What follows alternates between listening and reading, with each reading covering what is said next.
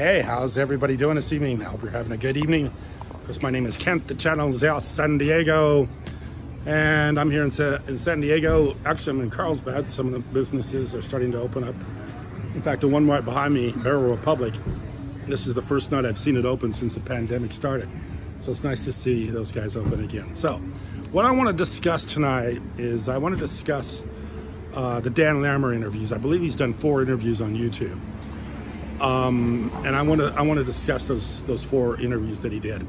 Um, as everybody, everybody, not if you've watched my videos in the past month, you know about a month ago I asked Dan to come on this channel and start to become more vocal because I thought it would help the project. And that's what I'm more interested in than anything. I'm interested in getting people to know more about EOS, uh, getting some of the information out that I know that they have.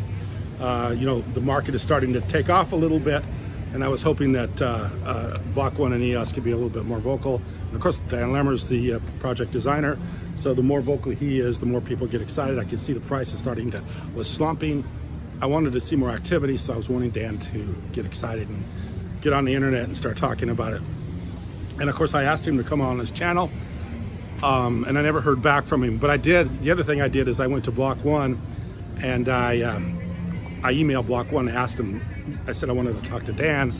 They emailed me back and they said uh, the head of developer relations, I believe, person asked me, why would you like to, what do you want to talk to Dan about? Do you want to talk to Dan about YouTube or do you want to talk to Dan about a technical matter? And I said about YouTube. So I know Dan knows I have a YouTube channel because when Block One referred, uh, emailed me back, they asked me if I wanted to talk to him about YouTube. So I'm they they're Dan's fully aware of my YouTube channel, but has not come on the YouTube channel and and and has not responded in any way, shape, or form. In fact, um, when he was an Ivan on tech, somebody even asked him about challenge, and he acted really blank, blank stare. He didn't have any idea what challenge is or have any any uh, any uh, any answers any answers for Ivan, even though people were asking him about that. But anyway, I want to talk about the interview that he had, and I think it was with um, Everything EOS, I believe is the name of the channel. Okay, and I want first I want to back up to the previous uh, interviews. First, he had a gold and silver channel he was on. Then he was an Ivan on Tech. Then he was on a, another guy named Blockworks. I think he does uh, blockchain or does Bitcoin, and then he and then everything EOS. Now I watched uh, the three other interviews.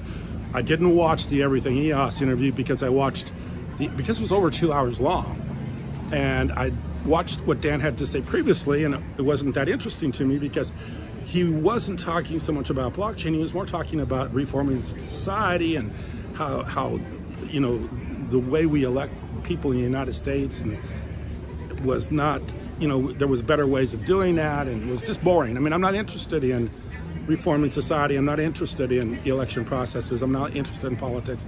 I'm in, not interested in restructuring how our, our political system works. So when I watched those three other interviews and that's what he was talking about, you know, I thought I'm not going to stay here and watch another two and a half hours of of how to re reform the political process here in the United States or any other place. So I didn't watch the main two-hour interview, but I watched the post-interview, and um, I'm going to let this train.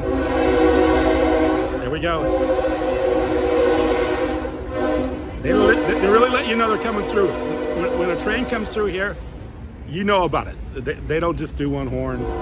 They, they let that thing go, and, it, and, it's never the same. Sometimes it's brief, sometimes it go on for a long time. But anyway, forget about the train. It's it's all it's past us now. All we're gonna hear is a little bit of rumbling. So anyway, I, I didn't watch it, and then I said something about it in one of my videos that I thought because I could kind of tell by uh, the people that came on after the interview that it, there was a little bit of. Uh, you know, the people were a little bit deflated, and, and even at the end when they said, let's do the I think they say go EOS thing where everybody pumps their arm. It was kind of a weak go EOS. So I kind of figured that the interview didn't go that great. So I didn't watch it. I just kind of said, oh, yeah. another interview about uh, how we need to revamp the, the American election system. So I didn't watch it. So I made the video, figured it was probably uh, about a lot of stuff that wasn't that interesting. And I made a video. And then somebody put in the comments of the video, they said, hey, you know, you, you didn't watch the video. You, you, uh, you need to go back and watch the video before you can make any kind of determination on it. He's telling me what a great interview it was. This is great, great interview. You need to go watch it. And I said, okay, I'll go watch the interview. So I did. I watched the entire two hours and however many seconds, I think two hours and maybe it might have been close to three hours. I don't remember. But I watched it and then I went back and watched parts that I thought were very interesting. And I'm going to talk about a little bit about what he said because I did think the interview was worth watching. And the first thing I would say is that um, Dan um, seems to be getting very regulated minded. So he's very curious, very interested in regulations, uh, uh, including the tax laws. So he spent some time talk, talking about how Block One is going to have a financial product. We, they've done the voice product, the social media product. Now they're going to have a, a, a financial product. But this financial product has got a lot of hurdles to clear because of U.S. tax code and uh, tax code around the world. So unless you get the tax code all uh, figured out, it's going to be very difficult to do anything, uh, which I completely disagree with. And I can give you why I disagree with what he's talking about. In fact, what, what he's talking about, I think, hurts the project. Not only it hurts the project, it hurts Block One, it hurts the EOS, and it hurts the investment in the EOS because um, the tax consequences or the tax issue is not not relevant to this uh, to this what we're doing here. Uh, they're building a blockchain. Uh, it's incumbent upon the IRS and the tax code to keep up with that, not for them to reverse and make sure that they need to go back and make sure they fit all their rules and regulations. The, the rules and regulations need to come forward, not to move backward. So that's what that is. And I also find that kind of disingenuous that he would be so regulated minded especially when Block One decided to do an ICO that was considered a security where they had to go back and get forgiveness from the Security and Exchange Commission and uh, pay a big fine and um, go through uh, um, some some negotiations with the Security and Exchange Commission. So if Dan was so interested in regulations, they would have never done EOS to begin with. EOS would have never happened if if Block One had made up their minds that they were not they were going to comply with regulation before they move forward because they they know they knew they probably knew at the time when they did the ICO and raised four billion dollars that um, they may be in violation of U.S. security and law rules and regulations. So they wouldn't have done it. So for him now to say now that this is going to encumber or hinder uh, their project, their new uh, financial project, because there could be tax problems I think it's kind of disingenuous. And I also kind of think it's a little bit negative, and I also think it hurts the project. And I also think that um, it's something that really doesn't have uh, any value. Uh, and I'll tell you why, I'll explain it to you. Um, and I'll give you a little bit of my background. I mean, I don't like to talk about who I am or what I've done. I was a broker, a stockbroker, security exchange. I've been dealt with many times as a broker, uh, secure, uh, Series 7, Series 63 licensed stockbroker. I've been to law school. Uh, I'm not a lawyer. And uh, I also uh, graduated from uh, university with an accounting degree.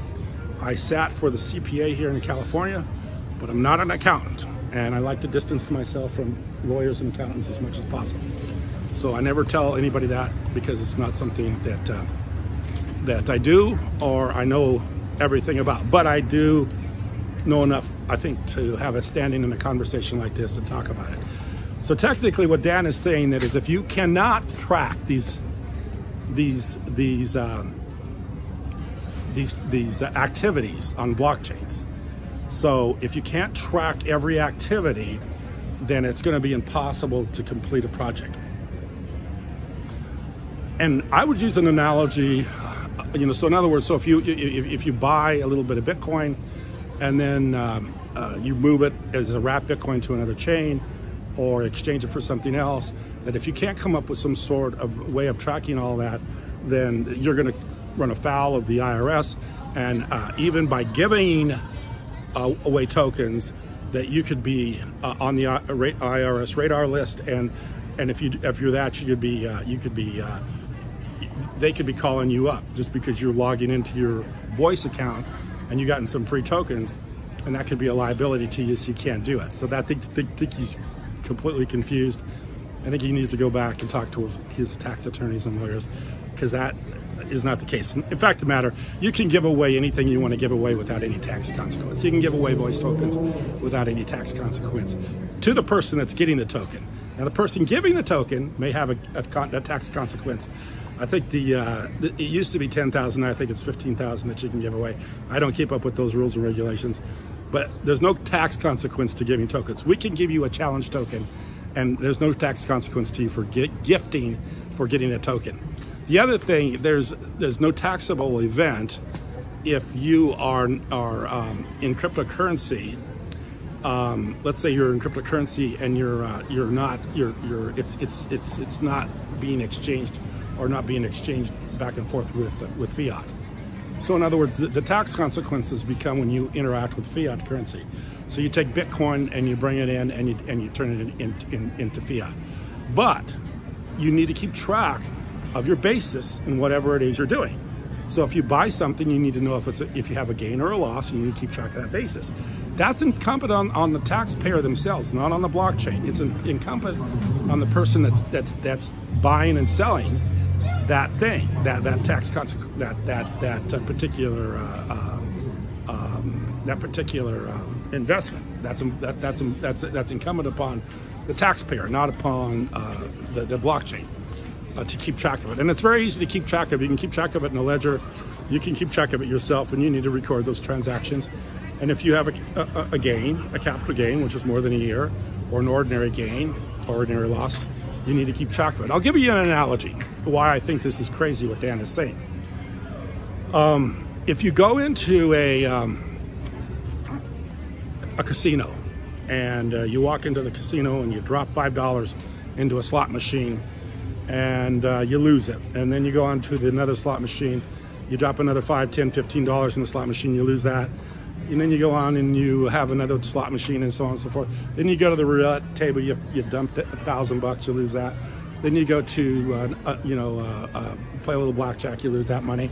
And then later on in the evening, uh, you hit a thousand dollar jackpot at one of the slot machines. Now, is, is, is, are, is the casino keeping track of every transaction? Is the casino making sure that there is some recording of everything that you're gambling that night? Is the casino making sure that they they know exactly what you've done? Is it incumbent on the casino to make sure that uh, they're keeping track of all that transaction? No, that's crazy that the casino would keep track of all this. That's a little bit of like what's going on with blockchain right now.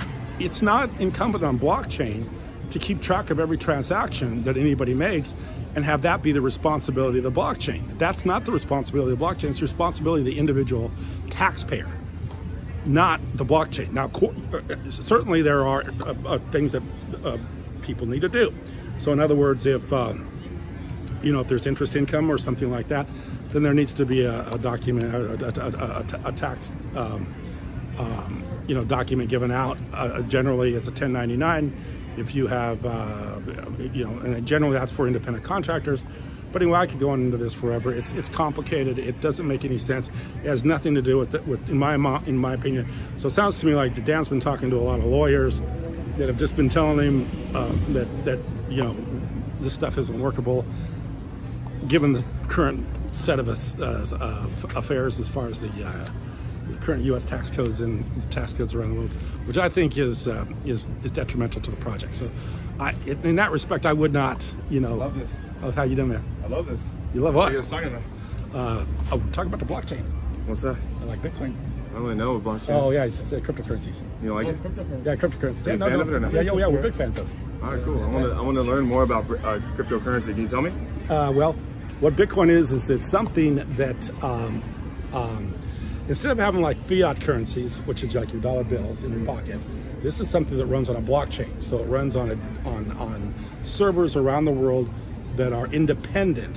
So it's not it's not um, like it's it's it's not it's decentralized. Mm. Yeah. So forex, like forex. Yeah. It's like I'm trading. That. Here, I'll hold this. I'll hold this while you talk to him. Okay. All right now, you tell him. Okay. So so you're into forex. Yes. What do you trade in forex? I trade a couple currencies. I trade Great Britain pound, U.S. dollar, okay. New Zealand, uh, U.S. dollar, Japan. So you're all over the world. Yeah, I like to do gold. So, I like gold too. Okay, you know, so like so, Indies. so so when you get done with all those trades, what, what I'm talking about tonight, as far as the tax consequence is concerned, how do you know how much taxes you pay on all that trading? Depending on your broker. Because your broker keeps track of all that stuff. Well, your broker, when you sign up, Yeah. you, you see that Okay. before you sign up. With So broker. there's just there, there, there's a there's some sort of a process where they keep track of that for you, Exactly. and that's what I was talking about tonight. Oh, okay. Okay. Love that. Okay, brother. Hey, Okay. Thank you. This is a beautiful time. This is Noah Blue. It's EJ. uh, EJ, and then your name? Kent. Kent. Hey, thanks, Awesome, guys. I appreciate you being in the in the in the. And Knucks, Knucks, Knucks. Yeah. See you guys. Have fun. Okay, so just like the man said, there's a way of keeping track of all that. The brokerage keep track of it, but they do as a, as a, as as a service to the clients. There's a way to do that. So uh, once again, I think that worrying about tax law, uh, as far as this is concerned, is uh, probably not the best for the project. And and I think more than anything, what Dan is trying to do is is is be very protective of Block One and their position as far as being able to. They raised four billion dollars. Uh, they're a big target, and and he's going to be the most, uh, uh, uh, probably be the most. Uh, what would you say? he doesn't want to expose himself anymore. he's got some money coming in. He's he's probably making a pretty good paycheck right now, and uh, he doesn't want Block One to have any problems with any kind of uh, uh, any kind of uh, governmental agency that can come and and uh, get some money out of him. So that's probably why he's saying the thing he said.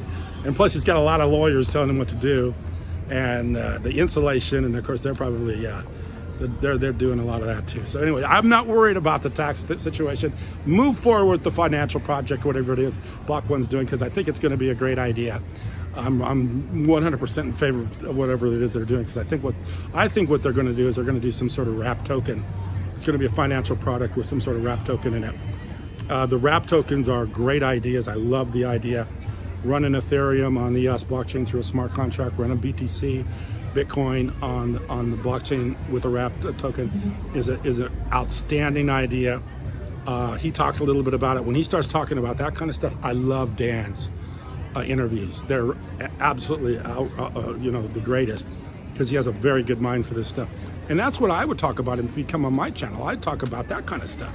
I'd talk about the more technical stuff uh, about uh, how to do wrap Bitcoin, how to do wrapped EOS, I mean, uh, uh, wrapped Ethereum on, on, on the EOS blockchain, because that is so powerful, and that's where this is going. This is going towards the ability to run.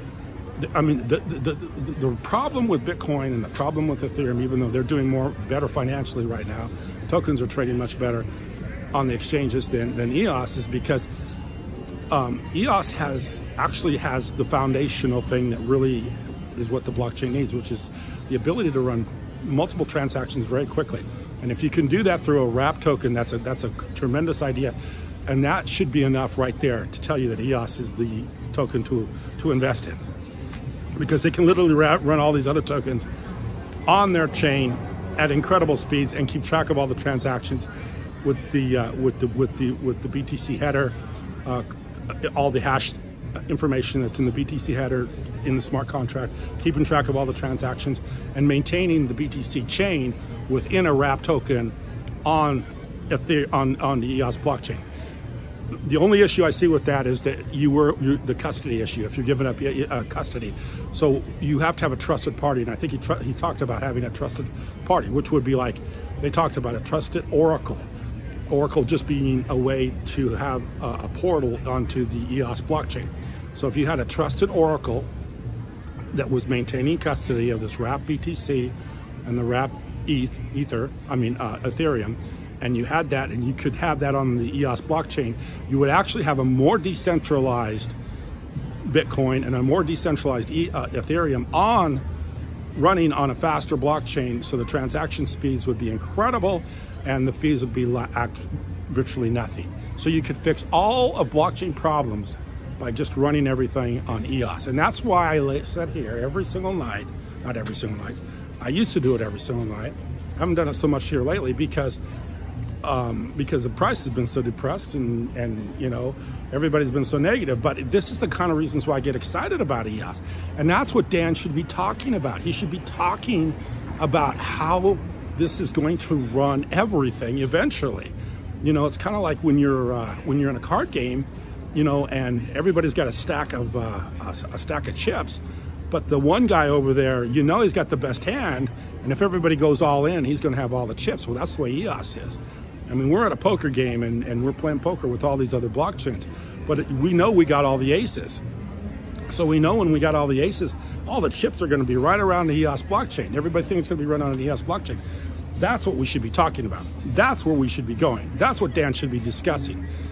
Not uh, tax law, not um, um, you know, how to rearrange the U.S. economy or U.S. infrastructure. I mean, uh, the United States election system. You know, this is the things that we need to be talking about because this is the thing that's going to drive this price a lot higher, and it's, it's, it's going to drive the price in, higher in a way that, um, you know. Uh, the investors are going to get involved. Once the investors get involved, more money gets involved. Once more money gets involved, more more developers get involved, and this is the, this is what makes make things grow. So, you know, we're not, you know, like us with the challenge application, we didn't get a big injection of cash like Block One um, did. So we're trying to run on, you know, um, money that, uh, you know, we didn't generate from a big ICO. So uh, yeah, I think Dan could help himself out by being a little more positive and also by discussing things that uh, would help the community a little bit more. And I think he wants to do that, but I think he also kind of gets a little wrapped up in some of the, his personal belief systems that, uh, and like I say, I, aren't interesting to me, and I, I, don't think interesting to many other people, unless you're in one of the, these libertarian groups and you like that. You know, and I've done all that, been there, done that. I used to listen to Alex Jones, listen to all the stuff, read the book Creature from Jekyll Island, G. Edward Griffin, done all that crap stuff. I almost said crap, but it's just, to me, it's it's the way it is, and there's just nothing you can do to change it. Just like we, you know, you know, we got a two-party system here in the United States of America. You think you're going to bring that down anytime soon? Lots of luck. I'm, I think I'm twice as old as, as, as Dan Larimer, so I heard these arguments when he probably just was a little boy. Uh, so anyway, I don't know how this video is going to turn out. I hope it turns out well. Uh, a lot of stuff was said, and like I said, I did a lot of this from memory because uh, I don't like to use notes because if I'm going to sit here and read from a script, I might as well just you know I just you know it's not I don't think going to be I never like people that read from a script because if you read from a script, it's uh, it's like you really don't know this stuff. If it's kind of like anybody can read it, but if you, you sit down here and talk or ad lib like I'm doing, not ad lib, but actually have to do it from memory, I think you have a lot better interest or a lot more knowledge of it if you can do it that way. So that's why I do it the way I do it. So hopefully you can find this interesting. But anyway, if Dan ever wants to come on this channel, I would love to have him. I doubt that he will. He's had a lot of opportunities to come here and talk with me. Uh, I'd love to do it however you want to do it. I'd even fly back to uh, uh, to Virginia, Blacksburg, Virginia, if you'd like to do the interview. I'll fly back there and, and, and do the interview with him. I just like to talk to him. Um, anything else I want to talk about tonight? This video is probably going on long enough, so I suppose I can I can wrap it up. But anyway, uh, we'll see if Dan does any more interviews. I hope he does, and I hope he talks about this uh, financial product they got because I think it's going to be a good one. And I think if they can avoid getting the lawyers to kill the deal, um, they could be uh, they could they, they could be looking for some for a lot higher prices in the future. I appreciate you watching. Thank you very much.